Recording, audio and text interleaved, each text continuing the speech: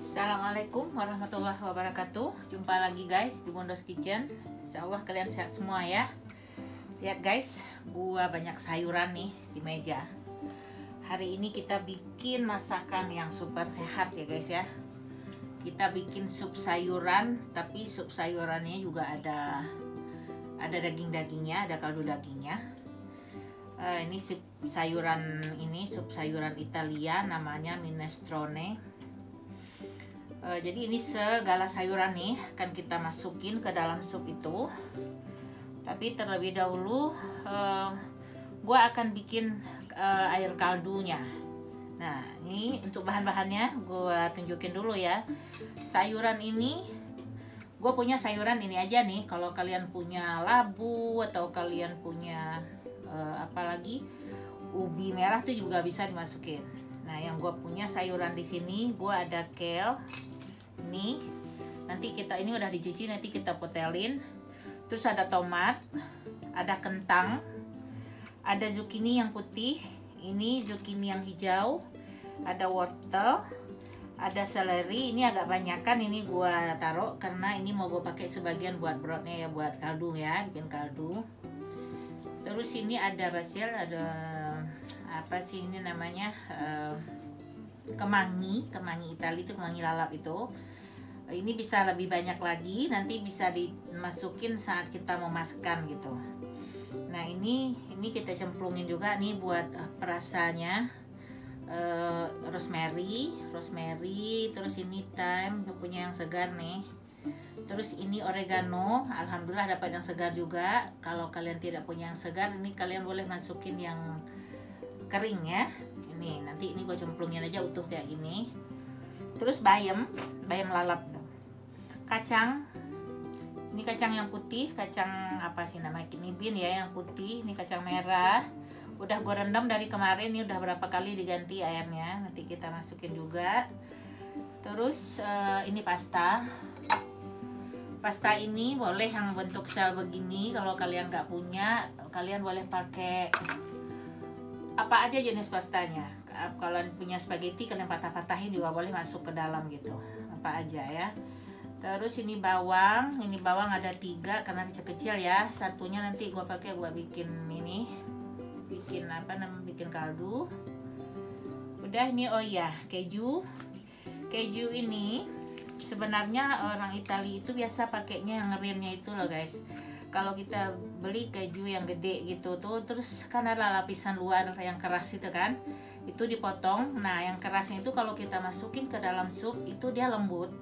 Nantinya dia lembut tapi dia nggak cair nggak nggak nggak larut gitu loh. Nah itu memberi rasa ke sup itu. Tapi karena gua nggak punya yang lain itu terus ini mau gue pakai nanti bisa diparutin atau dicemplungin juga nggak apa-apa sebagian uh, tapi kalau mau nanti setelah matang diparutin aja gitu. Terus uh, tomat.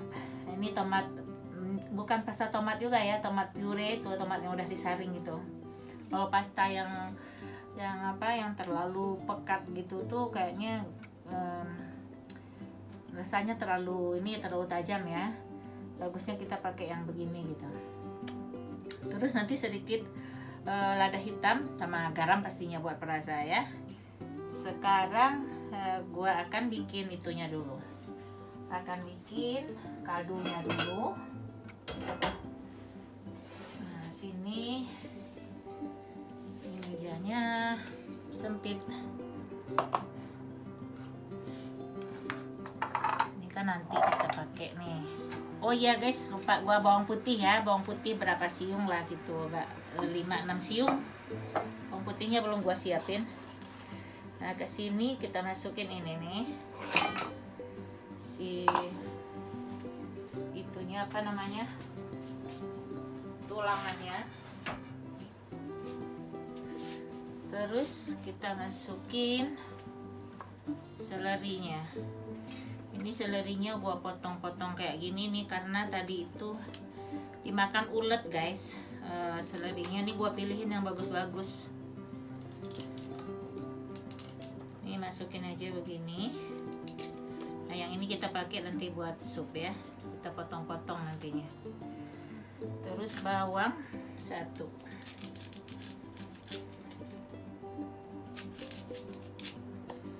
Nah ini buat bikin kaldunya ini bagusnya direbus tuh selama 6 jam guys. 6 jam biar sarinya benar-benar keluar ya. Ini sup ini sehat banget ini. Kalau kalian yang lagi menjalani itu soft diet nanti ketinggal tinggal kalian iniin aja tinggal kalian blender aja terus kalian dapat lah itu thick soup yang itu tuh yang creamy gitu kan udah komplit di dalamnya. Ada karbohidratnya ada proteinnya ada vitaminnya kan dari sayur-sayuran vitamin mineralnya. Jadi ini super sehat ini ini guys. Nah ini ini akan kita rebus ya untuk mengambil kaldunya. Kalau kalian mau dapat kaldunya yang yang benar-benar bagus hasilnya itu rebuslah selama 6 jam. Biar mendidih dulu dia mendidih terus nanti kecilin apinya. Api sedang gitu tuh eh, terus rebus selama 6 jam biar benar-benar keluar sarinya gitu. Ini akan gue isi air dan kita rebus ya. Nah ini udah gue isi air. Gue masukin juga nih 3 siung bawang putih digeprek uh, sama kira-kira satu sendok teh ini lada hitam utuh ya. Nih ya. Masukin. Terus akan kita rebus dulu ini.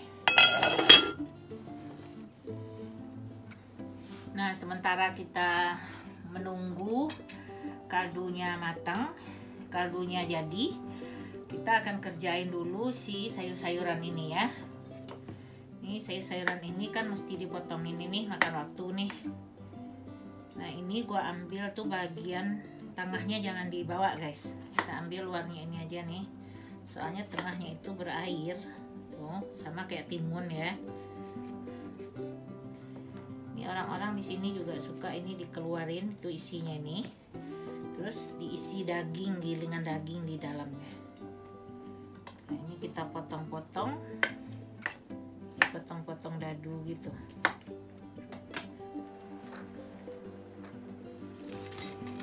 ini zucchini hijaunya ini juga kita potong-potong. Ini juga tengahnya nggak gue bawa tuh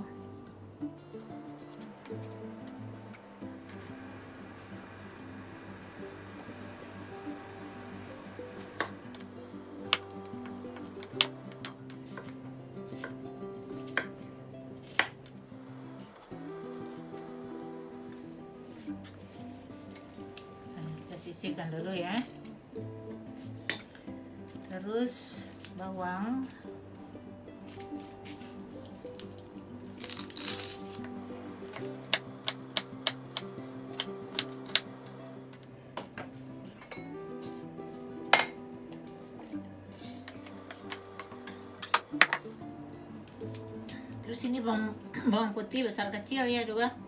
Ada berapa biji nih? Ada berapa siung nih? Setengah bongkah itulah guys. Segini doang nih bawang putihnya. Ada yang rusak-rusak ya. Tuh banyak-banyak juga. Ini kita geprek aja. Terus kita rajang aja sedikit. Nggak terlalu halus-halus guys.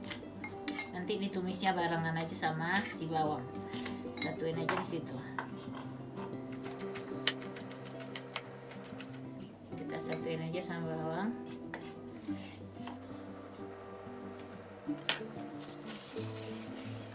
Nah, sekarang kita akan potong seledrinya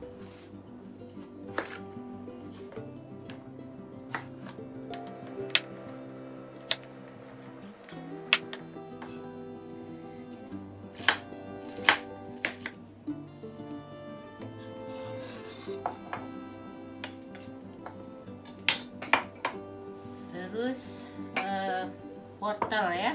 Wortel ini kalau kalian mau nggak dikupas juga nggak apa-apa cuci yang bersih. Tapi kalau gua gua kupas aja. Kayak kentang itu juga. Ada juga yang suka nggak dikupas gitu. Cuci aja yang bersih kulitnya itu. Kentang itu masukin sama kulit kulitnya itu nutrisinya juga banyak tuh guys. Di kulitnya itu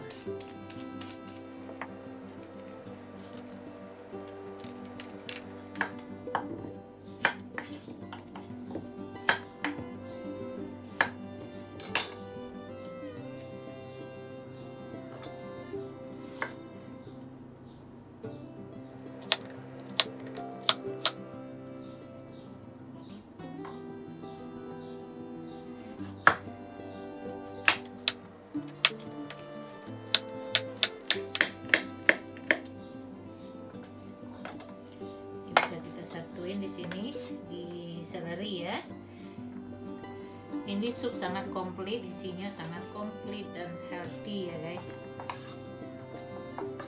Ini buat orang-orang yang lagi terapi. Kayak gua kalau ada kalian yang lagi terapi terapi di luar terapi kanker apa. Nah ini bagus nih buat ini nih. Buat hidangan kalian nih. Terus ini udah sekarang kita akan ini daun-daun ini akan kita masukin utuh nanti nggak perlu dirajang terus. Ini juga nanti aja kita potelin sama si ini. E, gua butuh itu satu lagi ya. Dua lagi deh mangkok. Ini mangkok buat kentang. Kentangnya mau kita kupas juga. Ini kentang ini harus direndam air nih biar dia tidak coklat ya berubah warna dia dia kalau dibiarin di udara terbuka gitu aja kan dia coklat ya jadinya.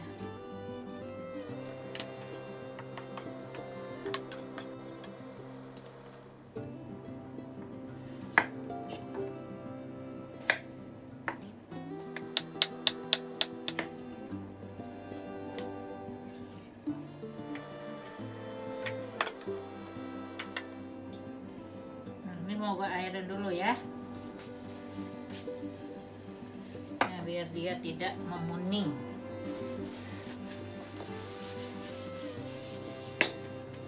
lagi nih nah ini sementara akan kita tutup dulu uh, karena si itunya masih lama ya. Si kaldunya masih lama.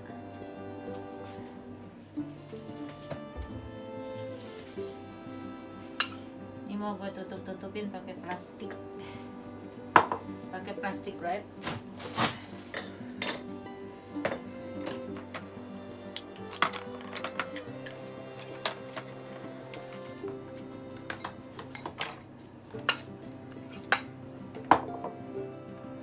ini harusnya kalau kalian mau bikin sup ini si broadnya itu kalian bikin lah hari sebelumnya ya. Jadi biar enggak nggak menunggu kayak gua gini nih. Ini kan jadinya menunggu nih. Di menunggu si ininya selesai si apa si broadnya selesai.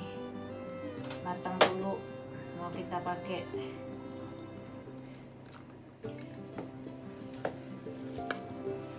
tomatnya nanti gua potongin. Sekarang gua mau kerjain mau ngebersihin si kelnya dulu tuh.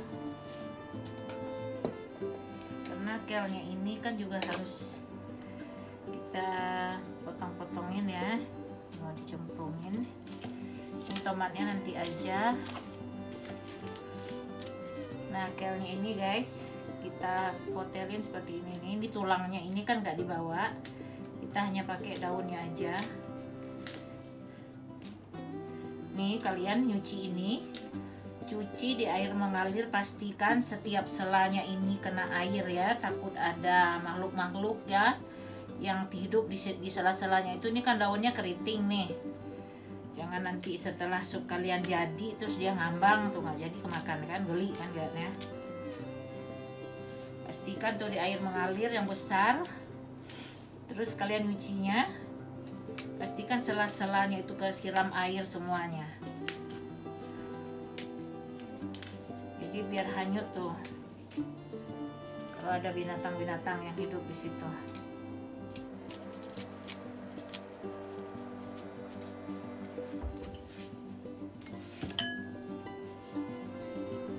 Nah ini kumpulin aja begini diperkecil aja ukurannya kan terlalu besar nih. Nah ini juga kalau ada daunnya yang kuning-kuning begini dibuang nih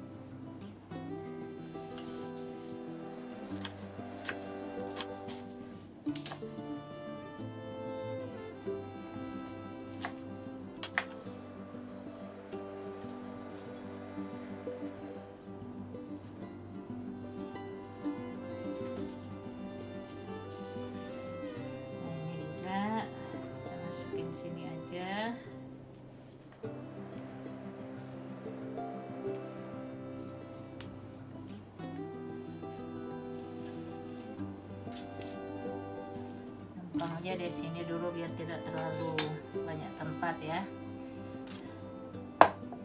Terus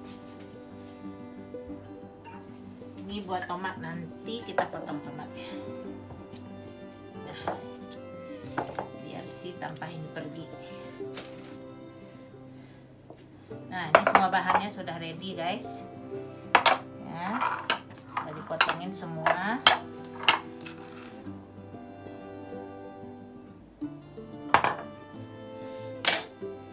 Kita menunggu kaldunya jadi ya.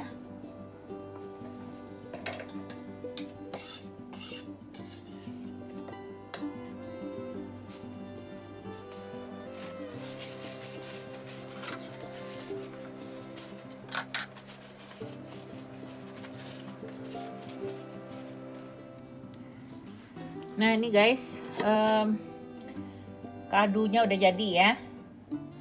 Udah jadi nih, terus kita langsung aja bikin supnya ya.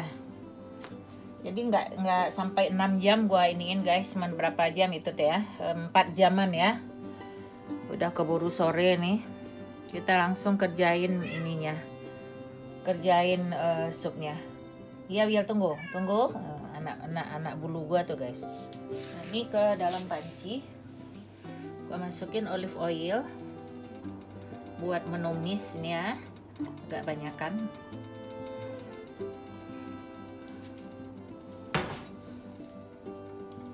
kita tunggu olive oilnya agak panas. Ini belum panas ya pancinya tuh guys. Dia agak banyakan kira-kira 4 sendok makan gitulah. Ini sepertinya udah panas ya guys. Terus kita masukin ini bawang putih eh, sama bawang bombay tadi ya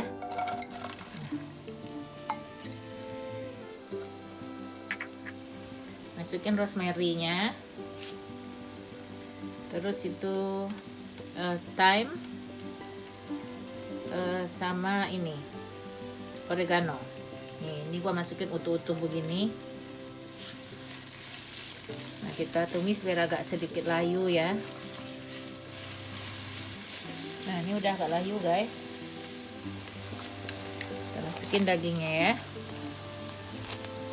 Ini dagingnya udah dipotong kecil-kecil.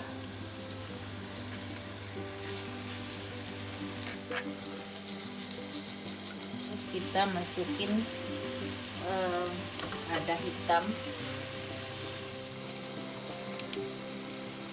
Ini nggak usah terlalu banyak karena si itunya apa?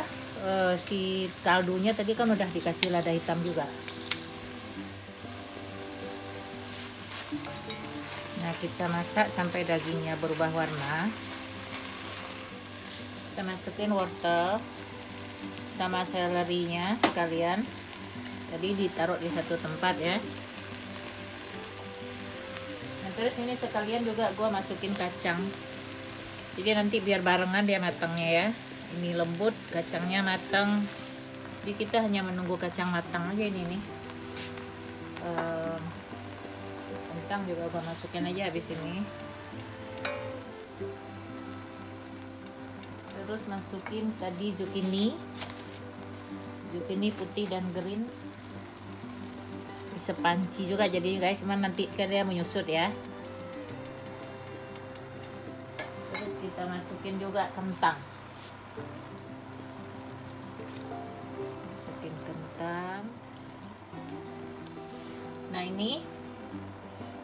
masukin kaldunya. Jadi biar dia langsung kerebus sama si air kaldu ini ya. Nanti kalau airnya kurang tinggal kita tambah air. Ini kaldunya ada 2 liter ini jadinya nih. Ini gue saringin aja ke sini biar cepet. Biar cepet kerjaannya.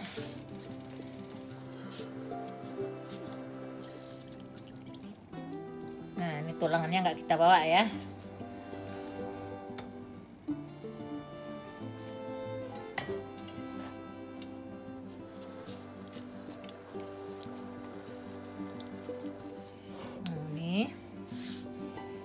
sekalian gue akan masukin si uh, tomatnya.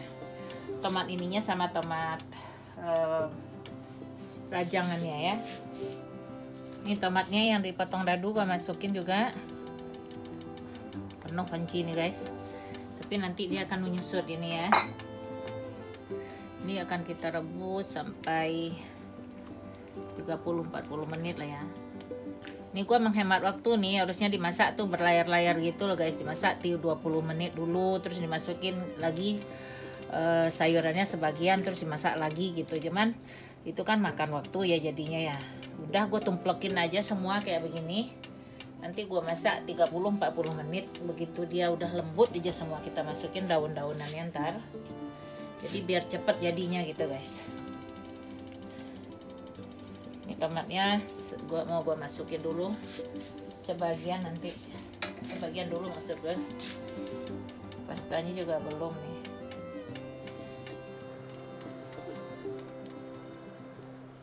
Biar dia tidak melimpah guys. Nah, ini kita akan masak ya. Kita tutup aja. Tapi dijaga jangan sampai melimpah aja nih biar cepat matang ya.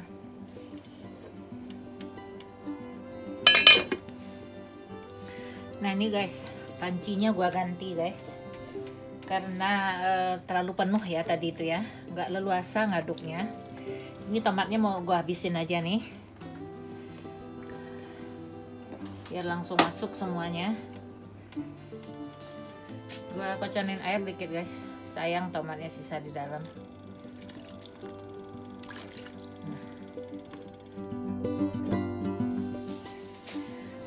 sekalian kelnya gue masukin aja karena si kel itu kan dia alot ya. Biar dia uh, langsung ini langsung lembut gitu.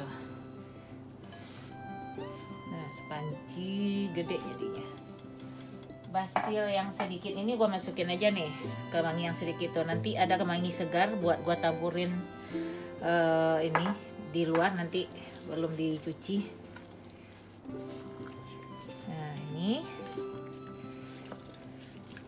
kita tunggulah sampai dia benar-benar matang semuanya. Nah. ini airnya boleh ditambah. Ini air gua panasin aja buat nambahnya. Biar dia agak berair sedikit ya.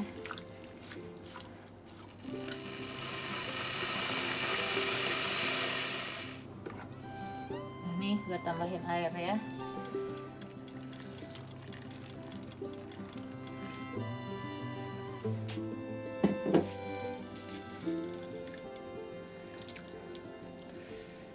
guys aromanya wangi banget. Belum matang aja udah wangi.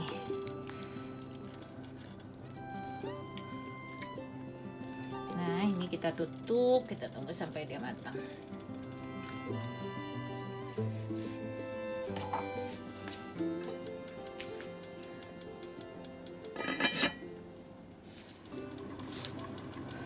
Nah ini dia guys sudah mau matang nih kita coba ya. Kacangnya paling agak keras ini nih.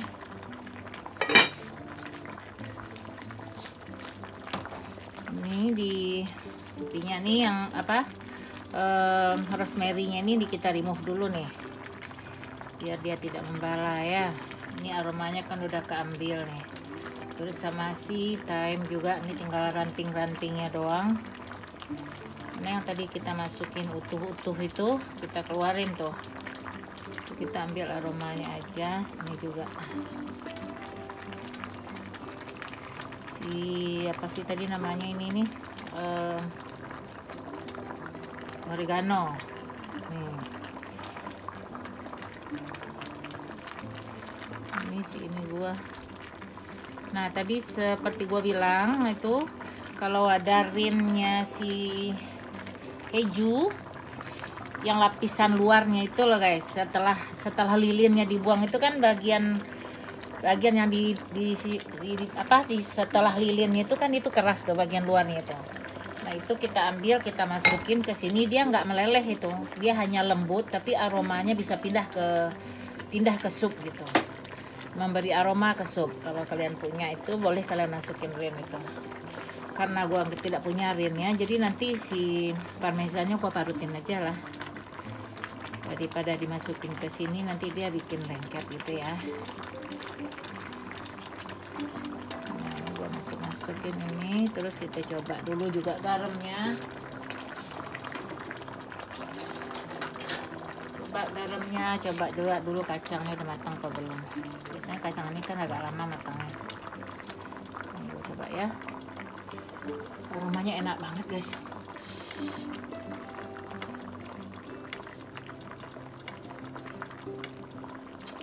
Hmm, kacangnya belum. Masih agak keras.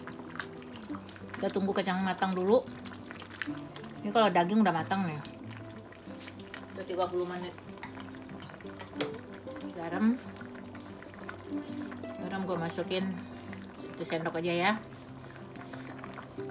uh, kalau ini bukan satu sendok nih sendok gua ini uh, sendok teh agak gede sedikit gitu.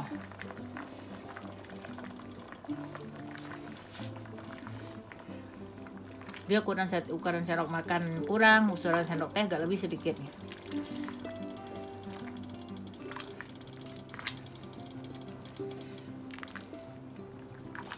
nah ini kalau kalian yang lagi soft diet nih langsung aja kalian blender nih ya udah ada semua nih. Udah ada karbohidratnya dari kentang udah ada sayurannya udah ada protein mineral vitamin ya. Ini dari daging. Ini bisa juga kalian ganti dengan ayam. Jadi kalian bikin kaldu ayam terus dagingnya kalian pakai fili ayam. Enak juga tuh guys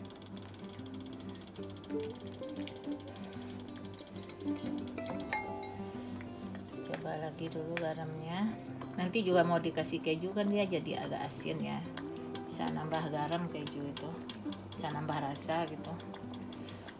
Hmm, segar banget enak.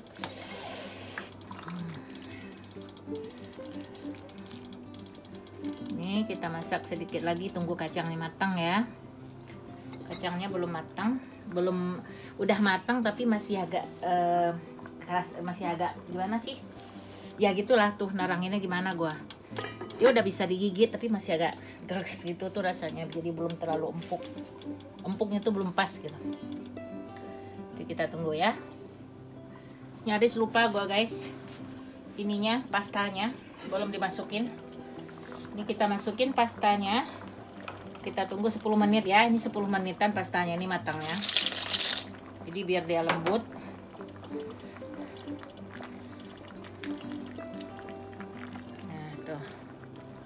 dia kerendam ada panas dia lembut 10 menit. Nanti dia udah al dente udah matang nih. Si kacangnya juga udah matang.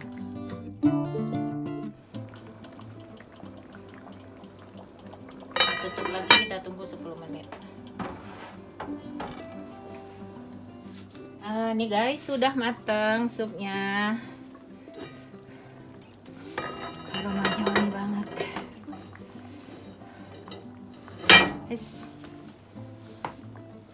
kita mangkokin ya guys ya kita mangkokin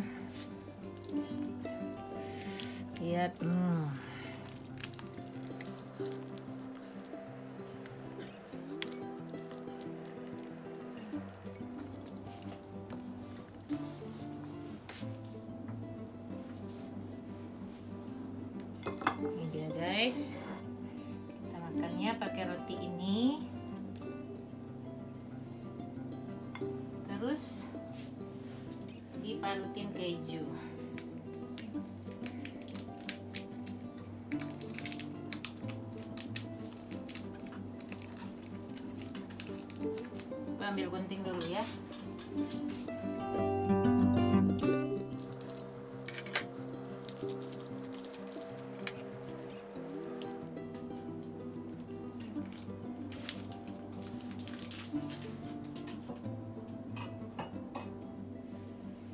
Sini. Ini ada kemangi segar. Ada kemangi segar tak bisa ditambahin suka hati. Ya. Terus ada bayam juga. Ini gue suka tambahin belakangan. Soalnya si bayam ini kan dia cepet ininya. Cepet lembutnya. Jadi nggak gue masukin di dalam. Gue suka tambahin di luar aja. Nah. Sekarang kita coba ya guys sebentar.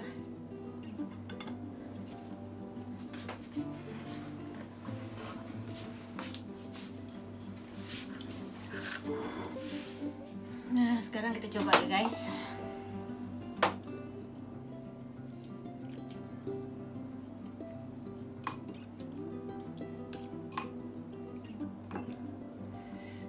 Panas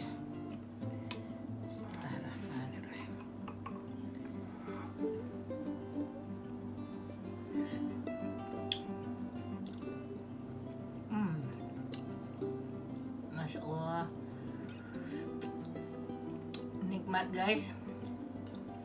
Hmm. Ini benar. Ini benar yang, yang gue pengen minestronnya Akhirnya kesampaian. Ini kita makan pakai eh, Ini ya apa namanya? Eh, Baget ya. Baget kalau di Italia rotinya tuh mereka pakainya Busetta itu. Atau bisa juga pakai dinner roll biasa. Hmm, cocok kayak gini guys atau makan pakai supnya biasa aja nggak apa-apa. Ini enak banget nih guys. Jadi ada asam-asam seger tomatnya itu ya. Campuran eh, sayuran semua ada kaldu ini nih legit gurih hmm, seger campur aduk nih semuanya nih. Enak banget. Eh? ini gue isiin sayuran segar begini nih orang-orang suka dimasukin aja sih bayam itu. Jadi eh, bayam ini kan gampang layunya ya. Jadi layu hancur lah sama si kayak kel ini jadinya nih. Nah gue nggak suka begitu. Gue suka kalau buat ramen buat sup-sup begini tuh gue suka si bayamnya itu belakangan masuknya. Si kemanginya ini juga tadi ada yang gue masukin sebagian kan buat eh, apa infus aromanya ke dalam ke dalam supnya nah, terus gue masukin sebagian buat eh, masukin yang segar nih buat kita makan sekarang nih. Hmm. ini enak banget. Kalian harus coba nih. Isinya komplit ya. Komplit sehat sangat sehat. Bergizi